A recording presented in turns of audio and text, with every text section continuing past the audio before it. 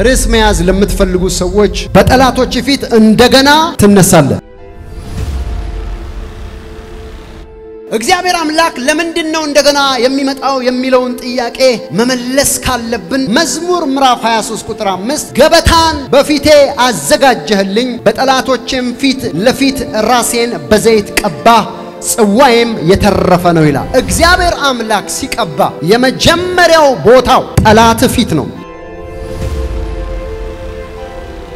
የጠላቶቻችሁ የመጀመሪያ ዓላማ እላይሽ ላይ ያለውን እላይ ላይ ያለውን ቅባት በስሪንጅ እንደሚመጠጥ አንድ ነገር እየመጠጠ ማውጣት ነው። ሰው ከዛ በኋላ ያልቅለታል።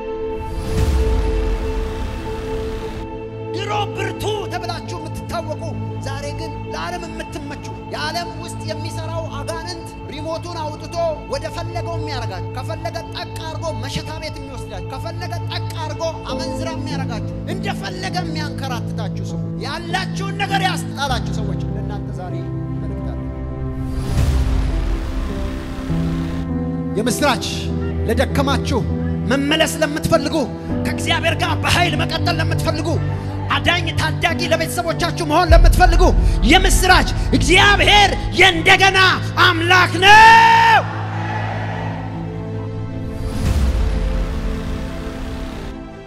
አንድ ሰው ዛሬ ኃይሉ ይጀምርለታል አለ። ክብር ይጀምራል። አሜን። እሳት ይጀምራል። አሜን። መነሳት ይጀምራል። አሜን። በጌታ በኢየሱስ ስም የወደቃችሁ ዛሬ ትነሳላችሁ።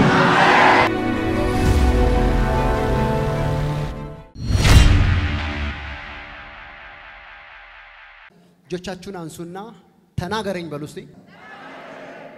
እንደዚህ ያለው ሳሙኤል ነው። ባሪያ ይሰማልና ምን በል ሲጮሁና እጆቻችሁን አንሱና ባሪያ ይሰማልና ተናገር በሉ። ትሰማላችሁ? አሁን ቃላችሁ ሰማይ ደርሷል። ባሪያ ይሰማልና ተናገር በሉ። አሜን።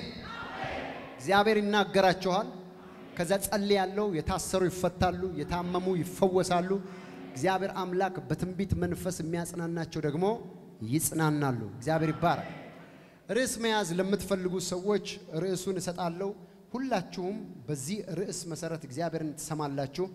እንደገና ትቀባለህ። በጠላቶች ፊት እንደገና ትነሳለህ። ርዕስ ነው። እግዚአብሔር እንደዚህ ብሎኛል ለሕዝቤ ዛሬ እንደገና እንደገና የእንደገና አምላክ እንደገና ወደ አንተ ይመጣል። የእንደገና አምላክ እንደገና ወደ አንቺ ይመጣል ነው ያለው ጌታ። የእንደገና አምላክ እንደገና ወደ አንተ ይመጣል።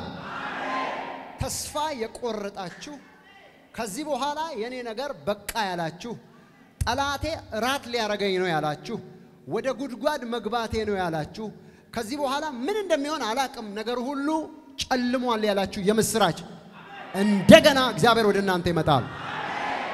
የእንደገና አምላክ እንደገና ወደ እናንተ ይመጣል ነው ያልኩት። እስኪ አንድ ሰው ይመጣል የሚል ሰው ጮሆ ይመጣል ይበል። እግዚአብሔር አምላክ ለምንድን ነው እንደገና የሚመጣው የሚለውን ጥያቄ መመለስ ካለብን ጠላትም እየሰማ ለእኛም ደግሞ እግዚአብሔር አምላክ ኮንፊርም እንዲያደርገን እንዲያረጋግጥልን የምትፈልጉ ሰዎች መዝሙር ምዕራፍ 23 ቁጥር 5 ገበታን በፊቴ አዘጋጀህልኝ በጠላቶቼም ፊት ለፊት ራሴን በዘይት ቀባህ፣ ጽዋዬም የተረፈ ነው ይላል። በጠላቶቼ ፊት ለፊት ራሴን በምን በዘይት ቀባ። እግዚአብሔር አምላክ ሲቀባ የመጀመሪያው ፐርፐዙ የመጀመሪያው ቦታው ጠላት ፊት ነው። ያውላችሁ ጠላት ያሳድዳችሁ በግራ በቀኝ በፊት በኋላ ጠላት የበዛባችሁ እግዚአብሔር እንደዚህ እያለ ነው፣ በጠላት ፊት እቀባና አስነሳሃል። በጠላቶቻችሁ ፊት ተቀብታችሁ ትነሳላችሁ። እግዚአብሔር አምላክ ዳዊት እንደዚህ አለ፣ በጠላቶች ፊት ለፊት እግዚአብሔር አምላክ oh my God አንድ ሰው አላ ስሙኝ፣ አሜን በሉና ሰው ሲቀባ ወዳጆቹ ፊት ቢቀባ ምንም አይደለም። እግዚአብሔር ግን ለምንድን ነው ካላችሁ ወድቀሃል፣ ወድቀሻል፣ አለቀልህ፣ አለቀልሽ በተባልሽበት ቦታ ከዚህ በኋላ ምን እንደሚሆንላት አያለው በተባልሽበት ቦታ በሰዎች ተገፍታችሁ ተገፍታችሁ ተገፍታችሁ በጠላት ተገፍታችሁ ተገፍታችሁ ጫፍ ላይ የደረሳችሁ ሰዎች እግዚአብሔር እንደዚህ አለ፣ በጠላቶቻችሁ ፊት ዛሬ ትቀባላችሁ። ጠላት መቀባታችሁን እስከሚገባው ድረስ እግዚአብሔር አምላክ እናንተን በጠላቶቻችሁ ፊት ዛሬ ይቀባችኋል። እጆቻችሁን አንሱን። ጠላቴ ሆይ በሉ፣ ውድቀቴን አታይም በሉ። ለዚህ ነው መጽሐፍ ቅዱስ ሲናገር ጠላቴ ሆይ ብወድቅም እንኳን እነሳለሁ። ጻድቅ ሰባት ጊዜ ይወድቃል፣ ሰባት ጊዜ ደግሞ ይነሳል። ወድቄ አልቀርም፣ ታምሜ አልቀርም፣ ተዘግቶብኝ አልቀርም፣ አልቅሼ አልቀርም፣ በመከራ አልቀርም። እግዚአብሔር አምላክ እንደገና ያነሳኛል የሚል ሰው አሜን ይበል ባካችሁ። እንደገና የሚነሳ ድሮ የነበራችሁ ፍቅር፣ ድሮ የነበራችሁ ኃይል፣ ድሮ የነበራችሁ ክብር፣ ድሮ የነበራችሁ መልካም ነገር የጠፋባችሁ አሁን መጥፋት ብቻ አይደለም፣ ብዙ ነገር ብልሽትሽት ብሎ ምን እንደምትሆኑ ግራ የገባችሁ ሰዎች የምስራች፣ ዛሬ መታደስ ይሆናል።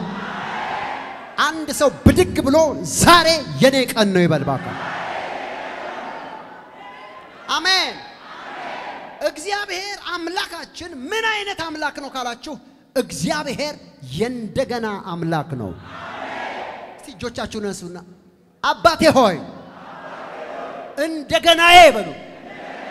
ዛሬ በጠላቶቼ ፊት ጠላቶቼን ታሳፍር ዘንድ ቀባኝ፣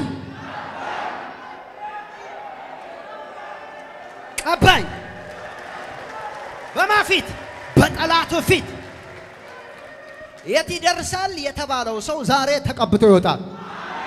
የት ትደርሳለች የተባለችው ሴት ዛሬ ተቀብታ ትወጣለች።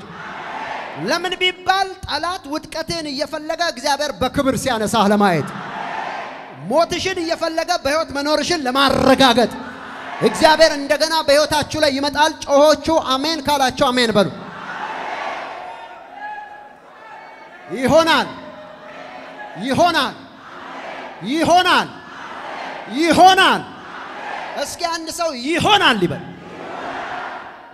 እግዚአብሔር አምላክ በመጽሐፈ መሳፍንት እንደተገለጠው በመሳፍንት ዘመን አንድ እግዚአብሔር አንድን ሰው ቀባ። ይሄ ሰው ስሙ ሶምሶን የሚባል ስም ነው። እግዚአብሔር አምላክ ለማኑሄና ለሚስቱ ከነገረ በኋላ ለእስራኤል መሳፍንት መሳፍንት ማለት ጀጅ ታዳጊ ሴቪየር አዳኝ ማለት ነው። መሳፍንት ይሆን ዘንድ ልጅን ትወልዳለች ብሎ በመልአኩ ልኮ ካስረዳ በኋላ አንድ ናዝራዊ ተወለደ። ናዝራዊ ማለት ለእግዚአብሔር የተለየ ማለት ነው። እስቲ አንድ ሰው ናዝራዊ ይበል። ናዝራዊ ማለት ለእግዚአብሔር የተለየ ነው ማለት የእግዚአብሔርን አጀንዳ የሚሰራ በእግዚአብሔር ልብ ውስጥ ያለውን አጀንዳ የሚያደርግ ማለት ነው። ናዝራዊ ማለት ናዝራዊ ልጅ ሰጣቸው። ይህ ናዝራዊ በእግዚአብሔር መንግሥት ወይም ዓለም ውስጥ ያለውን ስርዓት ለእናቱ እንደተረዳችው እንደዚሁ አደረገች። ይኸውም ስርዓት በራሱ ላይ ወይም በጭንቅላቱ ላይ ምላጭ እንዳያርፍ፣ ጸጉሩ እንዳይቆረጥ፣ ጸጉሩ ይደግ፣ ምክንያቱም ኃይሉ በእርሱ ላይ ይኖራልና ተብሎ ስርዓት ተነግሯታል።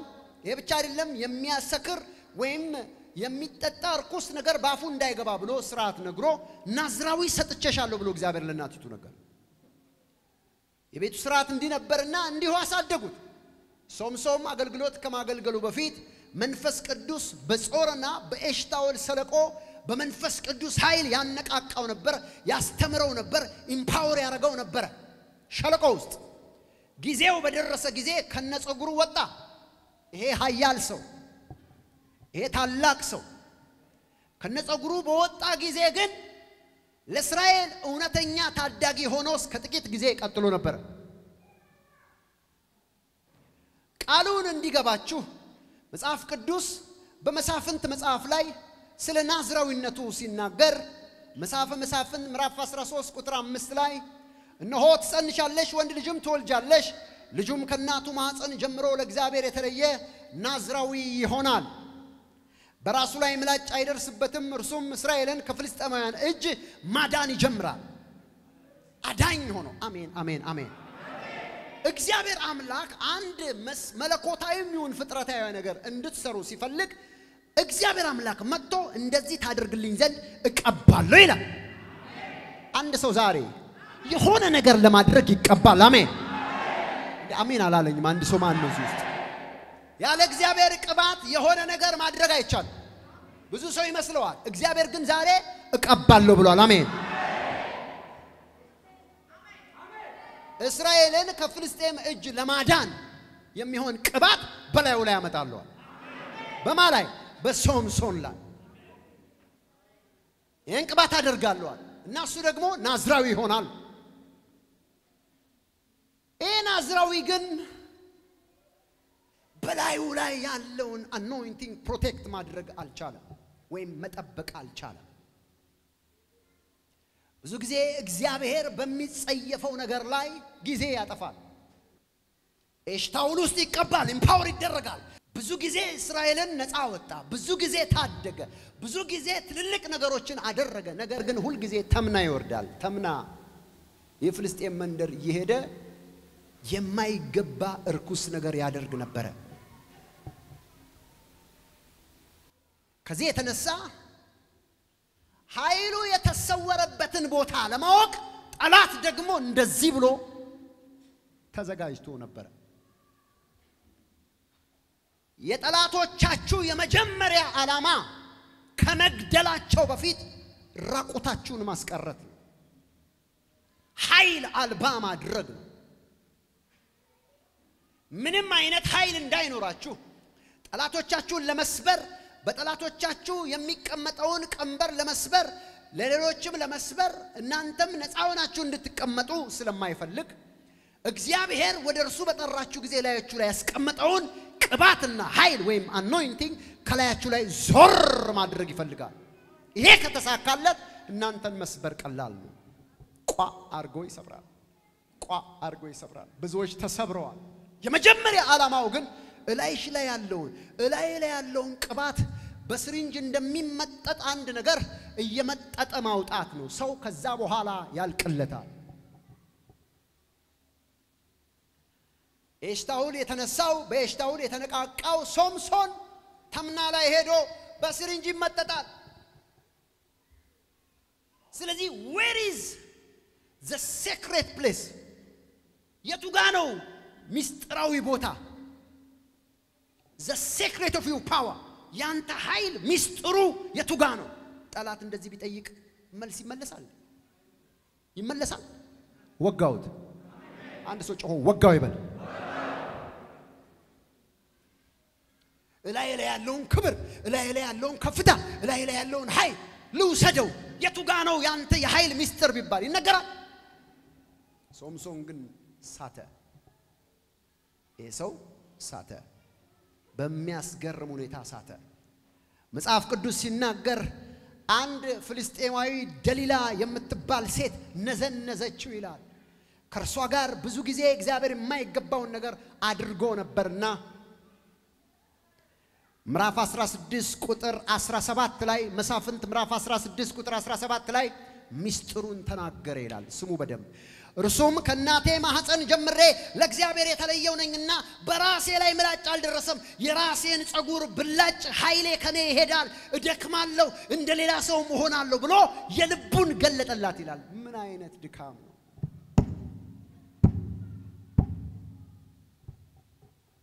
ምላጭ የተባለ ነገር በጸጉሬ ላይ ደርሶ አያውቅም። ኃይሌ ያለው ጸጉሬ ላይ ነው። እግዚአብሔር ናዝራዊ አድርጎ ቀብቶኛል። ጸጉሬ ቢላጭ እንደ ተራ ሰው ሆናለሁ። በነገራችን ላይ ቅባት የሌለው ሰው መሆን ማለት ተራ ሰው መሆን ማለት ነው። እደግመዋል።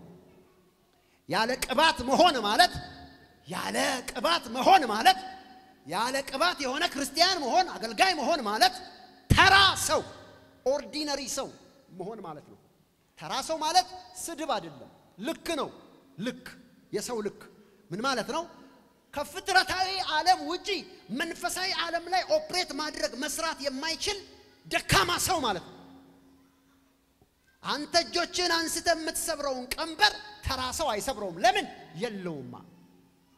ሙሉ ሰው መሆን መክበድ፣ መለየት ማለት ደግሞ መቀባት ማለት ነው። ስለዚህ ሶምሶን እንደዚህ አለ፣ የፀጉሬ ራስ ላይ ያለው ፀጉር ቢላጭ ኃይሌ ከላይ ላይ ይሄዳል። እንደ ተራ ሰው እሆናለሁ። ብጸልይ የማይሰማ ሰው እሆናለሁ። ብናገር ቃሉ የማይፈጸምለት ሰው እሆናለሁ። ለሌሎች መትረፍ እንዳልችል እሆናለሁ። ዝም ብዬ እንደ ማንኛውም አይነት ምናምንቴ ሰው ተራ ሰው እሆናለሁ። ለማን ያለው? ለጠላት።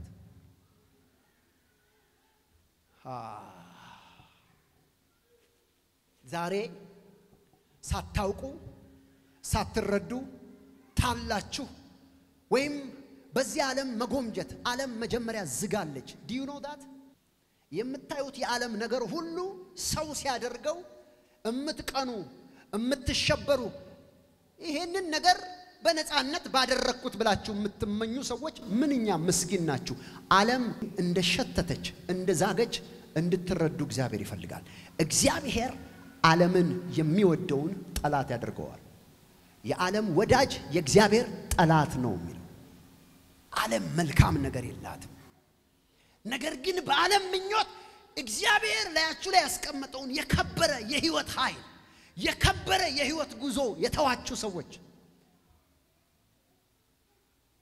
የተቀማችሁ ሰዎች ድሮ የምትጸልዩ ዛሬ ግን መጸለይ ያቃታችሁ፣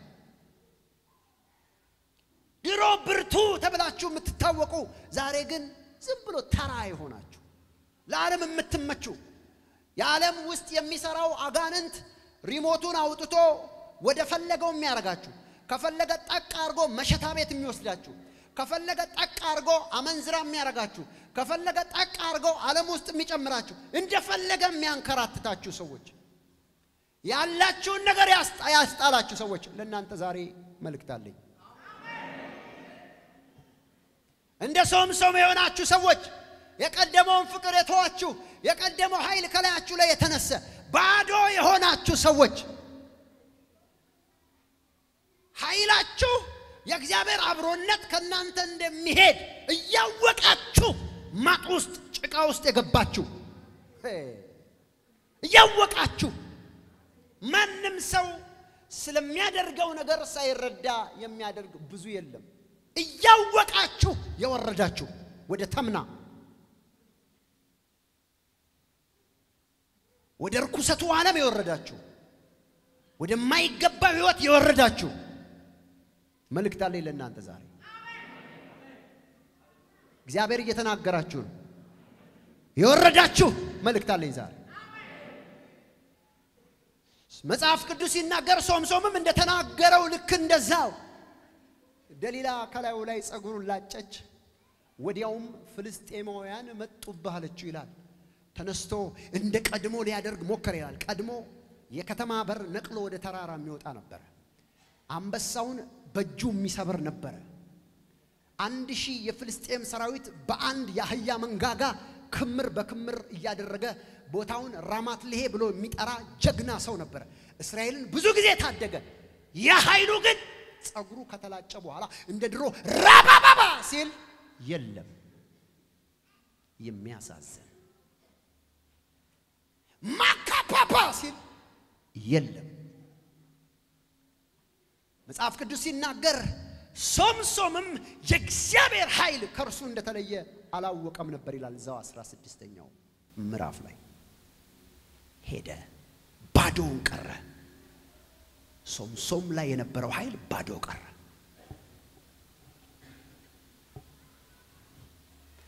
በጣም የሚያሳዝነው ከዚህ በኋላ ሶምሶምን ጠላቶቹ ወሰዱት ይላል። የመጀመሪያ ያደረጉት ነገር ዓይኑን አወጡት ይላል።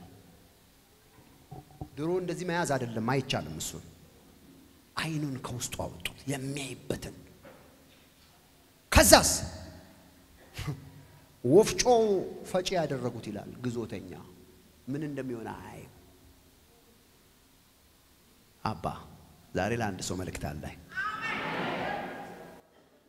ወፍጮ ፈጫ ግዞተኛ ባሪያ ያደረጉት የኃጢአት ባሪያ የጠላት ባሪያ እያለቀሳችሁ ከእግዚአብሔር የተለያችሁ ተገዳችሁ አሁንም ኃጢአት ውስጥ ያላችሁ መልእክት አለኝ። እንዴት ነው የምወጣው? ግን እያረኩት ነው። አቤት ይሄ ህይወት ያላችሁ መልእክት አለኝ። ሰይጣን በግዞት ለያዛችሁ መልእክት አለኝ። ዛሬ በደንብ ስሙ። አሜን የሚል ሰው ማን ነው? ሶምሶን በዛ ውስጥ ሆኖ አንድ ጸሎት ጸለየ። ምዕራፍ 16 ቁጥር 28 ላይ ሶምሶም ስለ ሁለቱ አይኖች ፍልስጤማውያን አሁን በቀል ዘንድ እግዚአብሔር ሆይ እባክህ አስበኝ ብሎ ጸለየ ይላል። ማጋዲያቮ ሶኮፖሮዲያም ወደ ድሮ ክብር መመለስ የሚፈልግ ሰው ብቻ እጆቹን ያሳይኛው። ድሮ ጠላቶቹን እንደሚሰብር ኃይለኛ ክርስቲያን እንደነበረ ድሮ አይኖቹ እንደተከፈተ ራእይ እንደሚያይ ድሮ እንደነበረ እሳት መሆን የሚፈልግ ሰው የምስራች ዛሬ ለእግዚአብሔር ክብር አንድ ታላቅ ነገር በሕይወታችሁ ላይ ይሆናል። ዛሬ አባ አለ እጆቹን አንስቶ ባክን አንድ ጊዜ አስበኝ አይኔን ያወጡትን ተራ ያደረጉኝን ጠላቶቼን እበቀል ዘንድ ያለ ጸሎት እንድሆን ተራ ምናምንቴ ክርስቲያን ያደረጉኝን እነኛን ጠላቶቼን እበቀል ዘንድ አንድ ጊዜ አስበኝ ብሎ በእግዚአብሔር ፊት ጸለየ። እግዚአብሔርን እግዚአብሔር ያደረገው እግዚአብሔር የእንደገና አምላክ ነው። አካቺ አክላ የምስራች ለደከማችሁ መመለስ ለምትፈልጉ ከእግዚአብሔር ጋር በኃይል መቀጠል ለምትፈልጉ አዳኝ ታዳጊ ለቤተሰቦቻችሁ መሆን ለምትፈልጉ የምስራች እግዚአብሔር የእንደገና አምላክ ነው። ወንድሜ እንደገና ትነሳለህ፣ እህቴ እንደገና ትነሻለሽ። እግዚአብሔር አይጥልምና ተብሎ ተጽፏል። ትነሳለህ፣ ትነሳላችሁ። ይህን ጸሎት ከጸለየ በኋላ መጽሐፍ ቅዱስ ይናገራል። ኃይሉ ምኑ ላይ ነበረ? ውጭ ያላችሁ ተናገሩ። ውስጥ ያላችሁ ምኑ ላይ ነበረ ኃይሉ? አቤት መጽሐፍ ቅዱስ ሲናገር መሳፍንት 16 ቁጥር 22 ላይ የራሱም ጸጉር ከላጩት በኋላ ያድግ ጀመር ይላል። ሃሌሉያ! አንድ ሰው ዛሬ ኃይሉ ይጀምርለታል። ሃሌ ክብር ይጀምራል። አሜን። እሳት ይጀምራል። አሜን። መነሳት ይጀምራል። አሜን። በጌታ በኢየሱስ ስም የወደቃችሁ ዛሬ ትነሳላችሁ። የወደቃችሁ ቅዱሳን በ Anointing TV የምታዩ ስሙኝ፣ ትነሳላችሁ። ዛሬ ሕያው እግዚአብሔር ምስክሬ ነው። ጸሎት ያቃታችሁ ሰዎች ጸሎታችሁ ይመለሳል። መቆም ያቃታችሁ ሰዎች መቆም ትጀምራላችሁ። ከአፋችሁ እሳት መውጣት ይጀምራል። የጠላቶቻችሁን ቀንድ ትሰብራላችሁ። ወገባቸውን ትሰብራላችሁ። እግዚአብሔር በኃይል እንደገና ያስነሳችኋል። እንደገና መነሳት ይሆናል።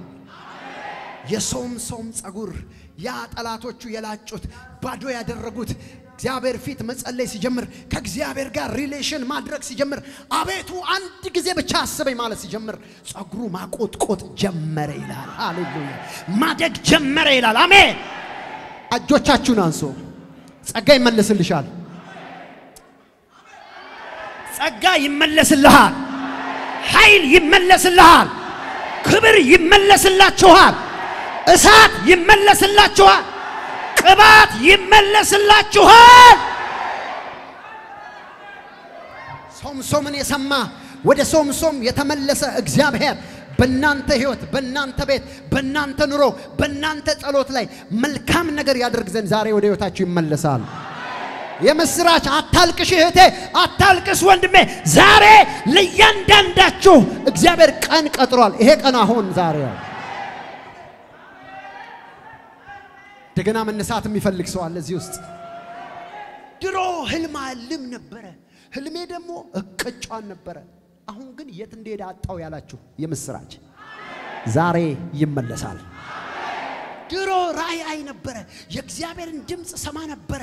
ስሄድ ምንም ክስ የለብኝም፣ ውስጤ የሚከሰኝ ነገር የለም፣ በኃጢአት አልኖርም ነበረ። አሁን ግን ብዙ ችግር ውስጥ ነው ያለሁት የምትሉ ሰዎች አላችሁ፣ ዛሬ ይመለሳል።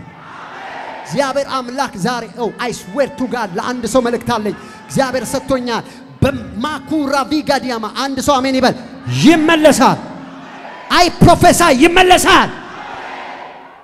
የሚገርመው ነገር እግዚአብሔር ጸጋን እግዚአብሔር ኃይልን ያዳፍናል እንጂ አይወስድም።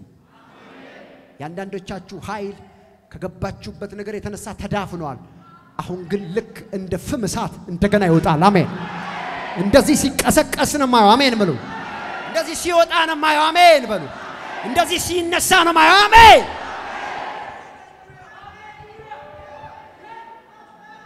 ይኸውላችሁ በህይወታችሁ አይታችሁ የማታውቁት ታምራት በዚህ ሳምንት ውስጥ ይጀምራል።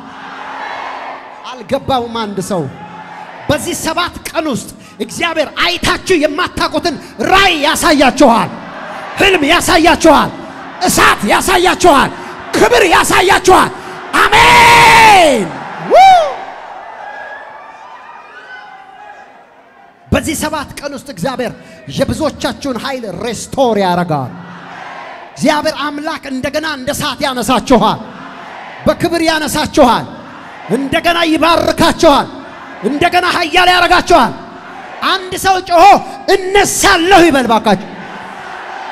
ድገሙ እንደገና፣ ድገም እንደገና፣ ድገሙ። ውጭ ያላችሁ ጩና ተናገሮ። እግዚአብሔር የእንደገና አምላክ ነው። በጠላቶቻችሁ ፊት ወደቃችሁ፣ አለቀላችሁ በተባላችሁበት ፊት እንደገና ትነሳላችሁ፣ እንደገና ትነሳላችሁ፣ እንደገና እድል ታገኛላችሁ። እግዚአብሔር መሐሪ ነውና እንደገና መቆም ይሆንላችኋል።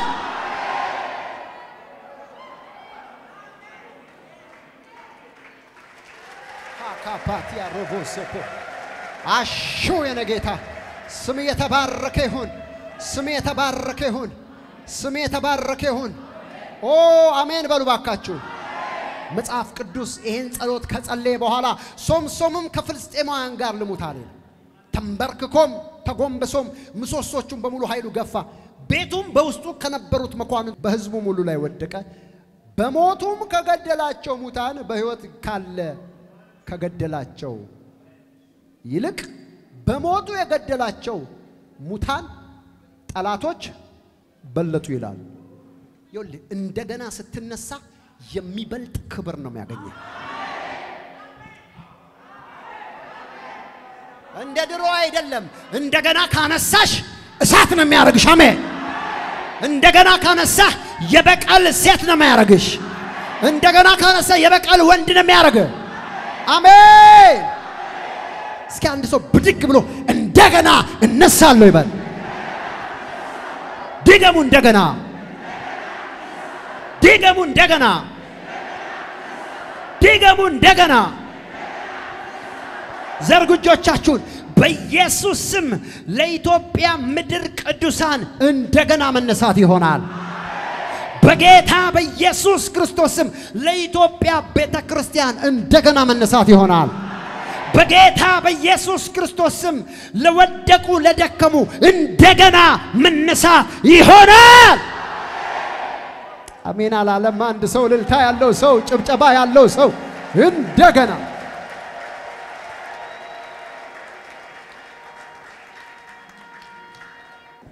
time to restore የ restoration time ነው። የተሃድሶ ጊዜ ነው። አሁን እንደገና የመነሳት ጊዜ ነው። በጽድቅ እንደገና የመነሳት፣ በቅድስና እንደገና የመነሳት፣ በኃይል እንደገና የመነሳት፣ በክብር እንደገና የመነሳት፣ በፍቅር እንደገና የመነሳት፣ በእውነት እንደገና የመነሳት ጊዜ በኢየሱስ ስም ዛሬ ሆነላቸው።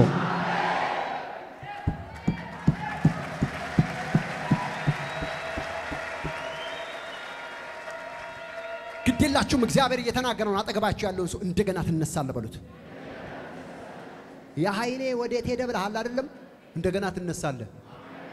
ያ አቅሜ የት ሄደ? ያ ያ ጥማቴ ያ ኃይል የት ሄደ ብለሃል አይደል? መልእክት ነው እግዚአብሔር እየተናገረው። እንደገና ትነሻለሽ። ንገረው አጠገብ ያለው እንደገና ትነሳለህ። እንደገና ትነሳላችሁ። ውጭ ያላችሁ ስሙኝ፣ እንደገና ትነሳላችሁ። እንደገና መነሳት ይሆናል። ሃሌሉያ!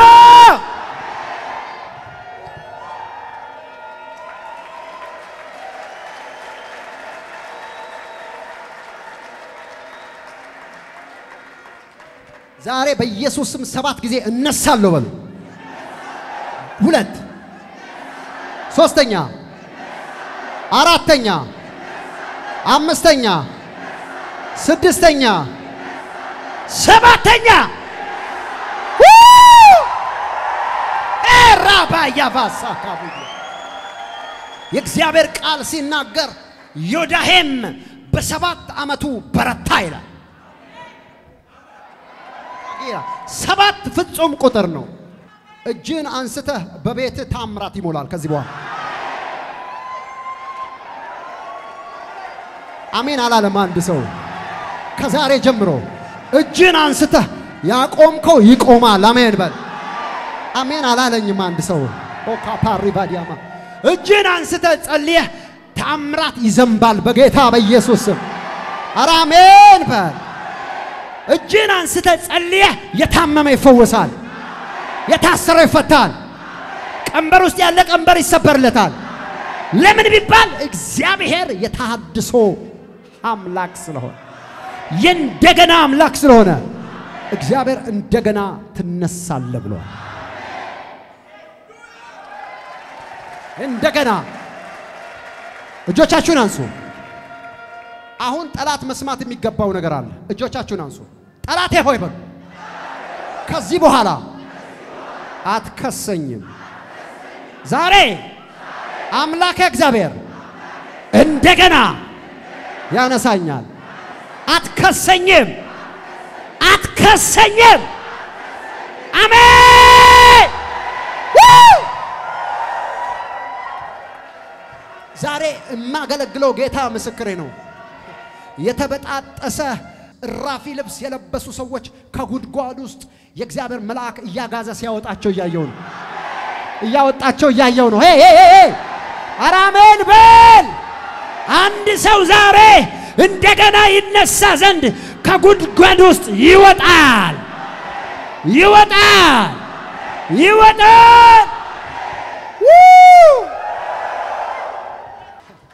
ሰይጣን ሁል ጊዜ ጭንቅላትህን መንፈስህን የሚቀጠቅጠው በትላንትና ጉዳይ ነው። ከዚህ በኋላ ክስ አራት ነጥብ። ሶምሶምን ጸጉሩን አቆጥቁጦ እንደገና ያነሳው የእንደገና አምላክ እንደገና ታሪክህን ጀምሮታል። እንደገና ታሪክሽን ጀምሮታል። ክስ የለም። አረ አንድ ሰው መልእክቱ የኔ ነው የሚል ሰው ዘሎ የለም ይበል እባካችሁ። ፓዲያ ቦግሎ በመንፈሳዊ ዓለም ጠላትህ ዲያብሎስ እየተቃጠለ እያየው ነው። ምክንያቱም ጠላት በመጀመሪያ አንተን ሽባ አድርጎ የሚያስቀምጠው በጊልቲነስ ነው፣ በጥፋተኝነት መንፈስ ነው። የጠላት ስትራቴጂ ነው። በጥፋተኝነት መንፈስ ወይኔ እያልክ ጠረጴዛ እየደበደብክ እኔ እኮ እያልክ እንድትኖር ነው። ዛሬ ተቀደደ። የሚያምን ሰው አሜን ይበለኝ፣ አሜን ይበለኝ። ልስን ልስን ልስን። ሁላችሁም እጆቻችሁን አንሱ፣ እጆቻችሁን አንሱ። እግዚአብሔር አምላክ የትላንትናውን ታሪክ የትላንትናውን አጀንዳ ቀድጄዋለሁ ብሏል።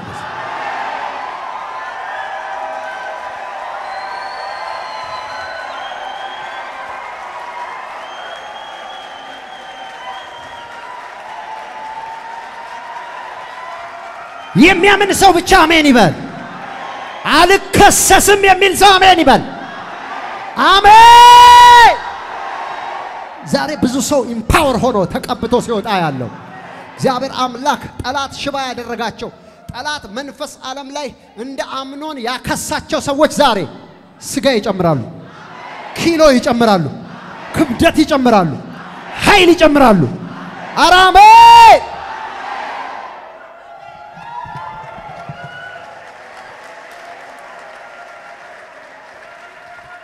ጠላቴ ተው ብዬ አለው። ተው ተው ተው።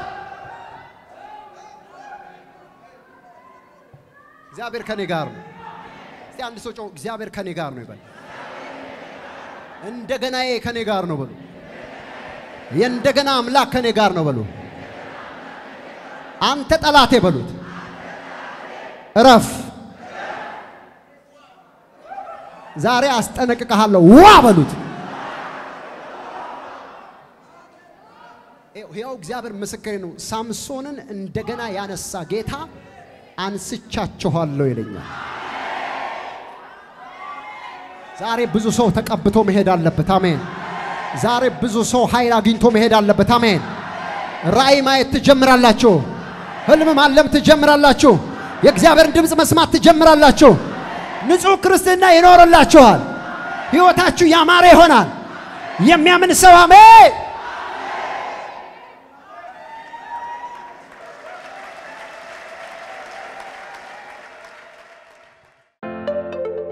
የፌስቡክ ገጻችንን Prophet ደረሰ ላቀው ህዝባር Anointing TV የሚለውን like እና follow ያድርጉ። እንዲሁም የዩቲዩብ ቻናላችንን Anointing TV Channel የሚለውን subscribe ያድርጉ። በየጊዜው የምንለቃቸውን የተለያዩ ቪዲዮዎች እንዲደርሱ የደውል ምልክቷን ይጫኑ።